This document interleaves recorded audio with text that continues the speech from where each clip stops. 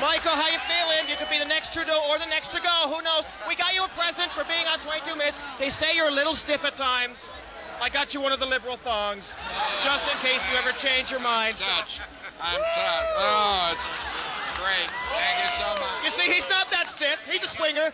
I can't, I can't wait for him to wear it. You're having an effect on him, Scotty.